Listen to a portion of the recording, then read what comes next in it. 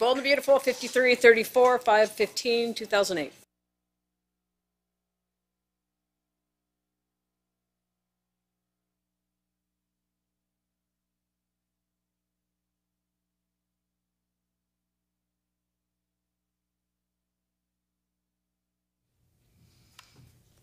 Nice.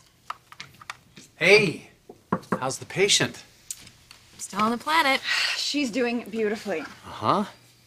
And the temperature? How are we doing? 98.6, right on the nose. Took a little bit of effort, but it looks like you're going to be with us for a long, long time. All thanks to this woman right here. Mm.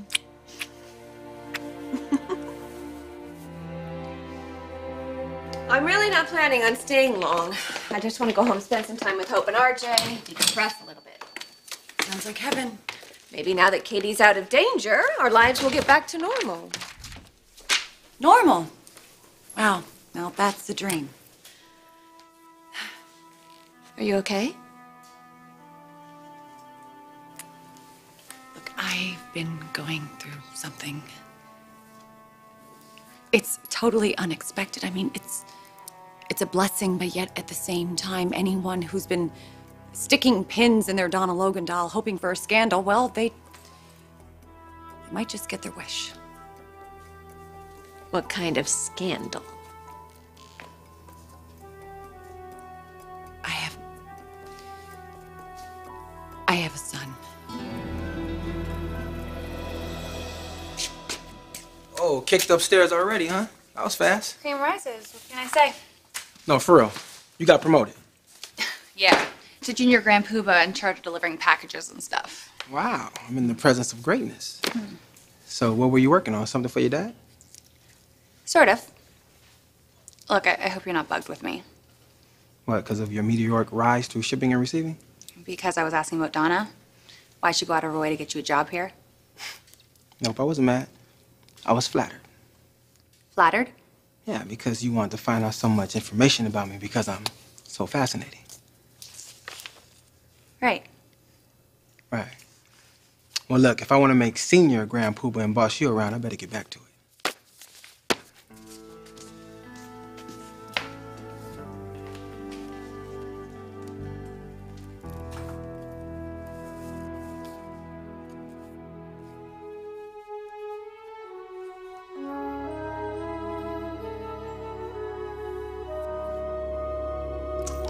Nikki, that is just such wonderful news. I mean, Bridget and her family, they must be so relieved. What a roller coaster, Mother.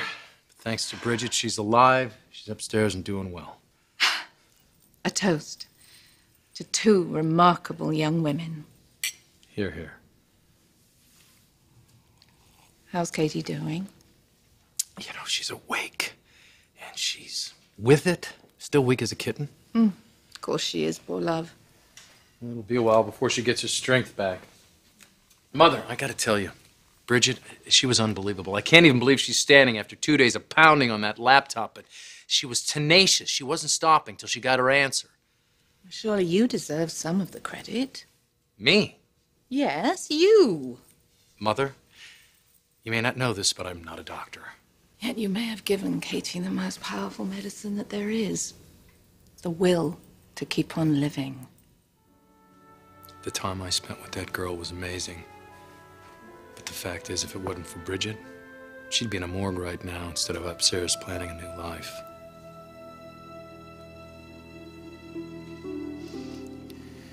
I still just can't believe this. Everyone said that there was no hope. The transplant wasn't gonna take, and now this. Katie, I would have never ever told you that you were dying if I didn't believe it myself.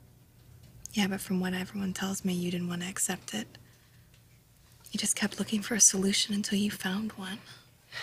I just wasn't sure at first. But then I I'm glad you didn't give up.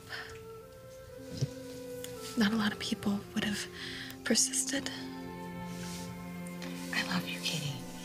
I love you so much. I would have never given up.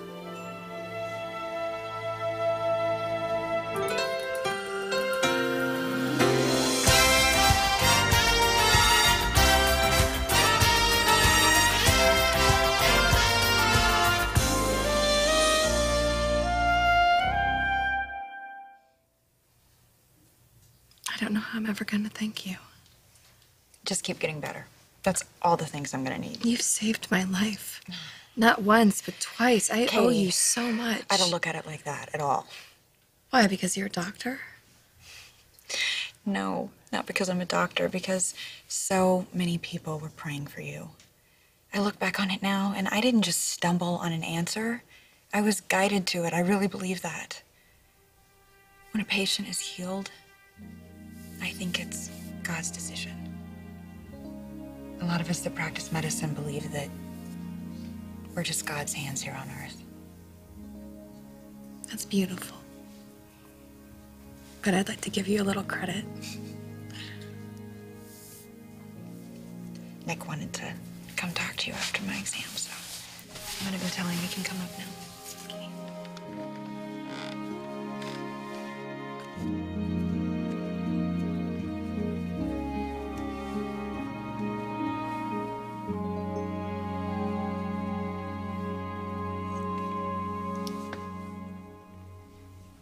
Can't believe what I've been through. I can't believe what I've just witnessed. Mother, if I ever have to stare death in the face, would you please remind me of the courage that Katie's shown? Yep, she's quite a woman. We've basically gone from no hope at all to she's alive. She's gonna make it. I am just so glad for everyone, Nikki. I mean, it's obvious how happy and, and thrilled you are. All right. I'm through upstairs, so you can go see Katie. Is she okay? She's getting stronger and stronger by the minute. Great. So, Nick filled you in. Oh, yes, he did indeed. It seems you performed quite a miracle. Oh, mm-mm. It wasn't me. I was just telling Katie upstairs that God definitely had his hand in this one. Bridget, don't you ever, ever sell yourself short.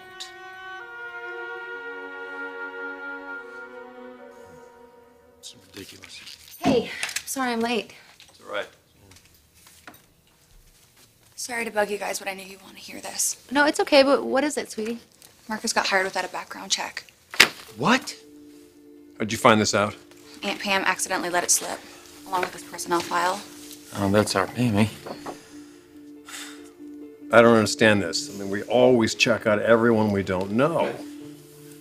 Past employment, police records. Three guesses who vouched for him, and the first two don't count. Donna, what the hell is up with her and this kid? There's almost nothing in his file. They copied his driver's license from Texas and he filled out an application, but that's it. Okay, we gotta get to the bottom of this pronto. Excuse me. I dropped off some packages before. Um, forgot this one. Um, is there some problem I should know about? In high school, that semester away. Mom and Storm were the only ones that knew. I was. I was really staying with Aunt Bonnie. Look, you and Katie were never supposed to find out. But Katie could tell that I was rattled about something and, and she pulled it out of me. Now I. I want you to know, too. So, you had a little boy, and you gave him up for adoption. And all these years, you never told anybody? I know. I know I should have. I should have told Eric. I should have told him before I got married. I. Well, you chose not to. Go ahead, say it. I, I'm. I'm no better than Stephanie with all of her lies and keeping secrets from him. No. Having a child with somebody who doesn't even compare to all the horrible things that Stephanie's done all these years. Besides, that was a long time ago. And yes, Eric should be told. But it doesn't mean he has to find out tomorrow. Yeah. Well, he. He might.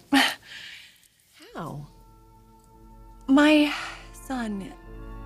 His name is Marcus. And he works here, Brooke, at Forrester.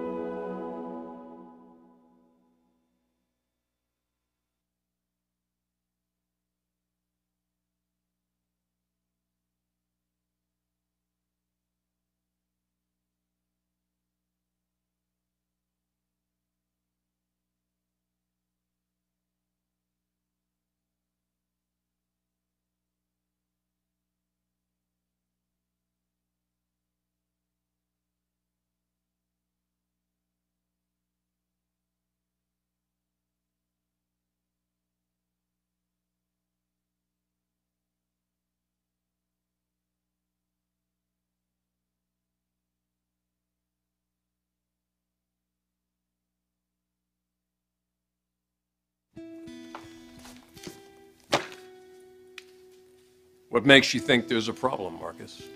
I just feel the tension here, that's all. And if I'm the problem, I'd like to know. Mm. yeah. Yeah, he's here. Did she say why? All right, I'll tell him. That was Madison. Brooke wants you to know that she and Donna are waiting for you in Eric's office. Okay. Thanks.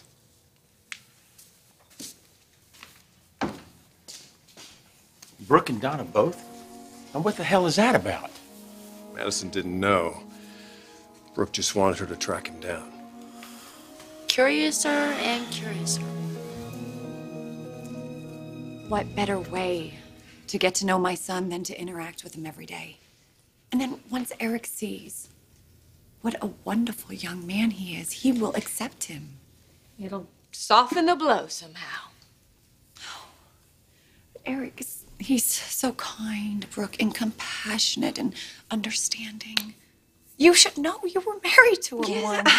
I do, I understand, but still, there are certain things that you should. Madison gave this to me to give to you as long as I was Uh, excuse us, we're busy.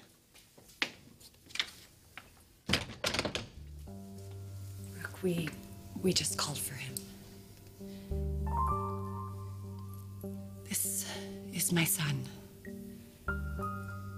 This is Marcus.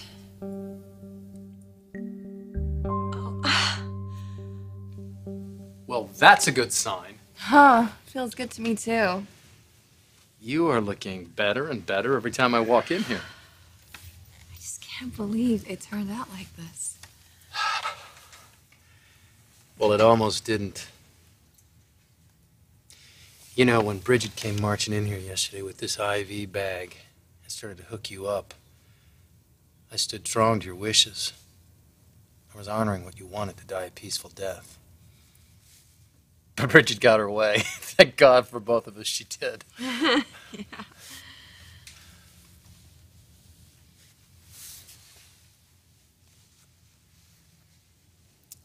The prom you should have had. And finally did. It was the best night of my life. Dying girl's dream come true. Except the girl didn't die. Yeah. I will treasure the memories you gave me. Always.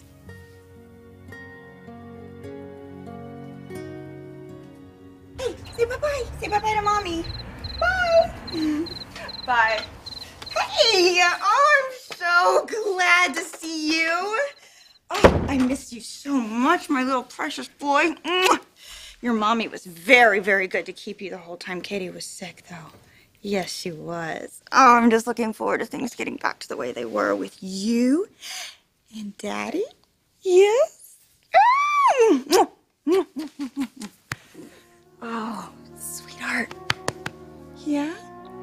You already have dinner? I bet you already had dinner, huh?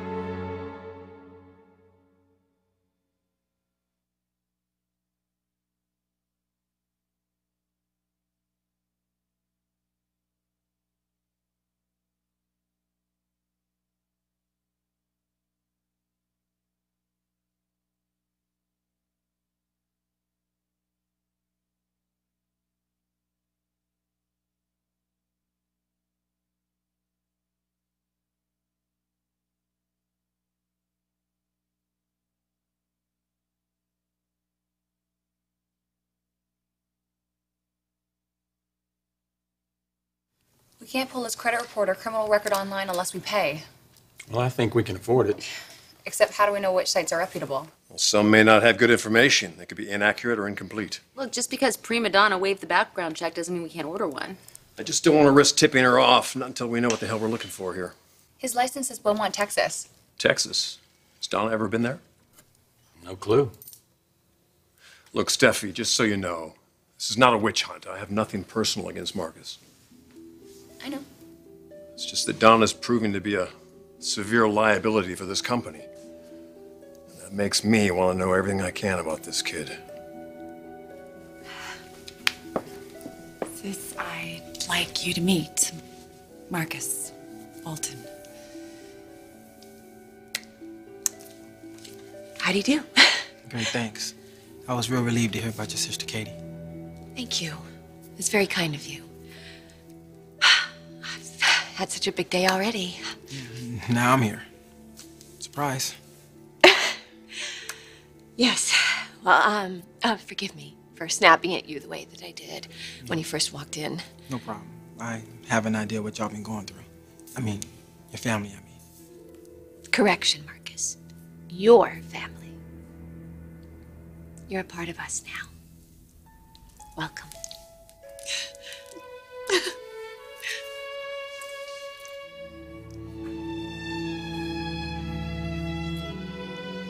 Your grandma tell you more than a hundred times today how much she loves you?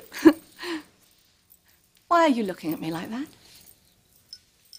Because I know you. I know the way your mind works. Meaning?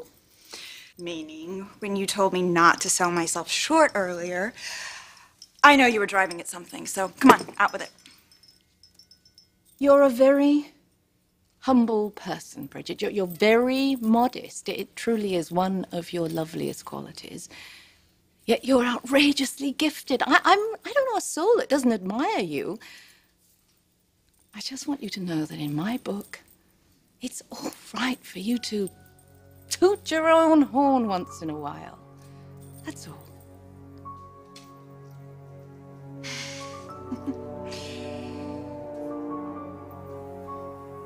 This may sound a little strange, uh, but it was a real privilege and an honor to share what we thought were your last moments with you.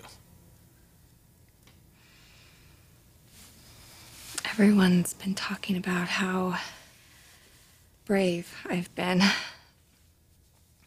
But I have to be honest, I haven't felt very brave. Just keep thinking about that day on the beach, staring out at that beautiful ocean that we both love. I just kept thinking maybe, maybe it would be easier if I just let it wash me away. If I just let this be over. I think from the moment I woke up in the hospital and I found out what Storm had done and why he had done it, there's been a part of me that wanted to just lay down and die with him. And I thought, why fight it? Why not just let fate decide? I didn't realize what a second chance I had been given until you made me see it. You made me want to wake up in the morning. You made me want to look forward to the day. You made me see that that day on the Marlin and our prom night was just a beginning. You made me realize what I'd been missing, what I'd taken for granted. You made me want to live. And I know I'm not telling you anything that you don't already know because you have this uncanny ability to know what I'm feeling before I'm even feeling it. And I don't want to hide from it any longer. I don't want to hide from life ever again. I want to say it. Because it was there on the beach. And it was there when you held me in your arms and we danced. And when you carried me up the stairs to this bed. You have brought magic into my life. And I love you. But I don't care who hears me say it.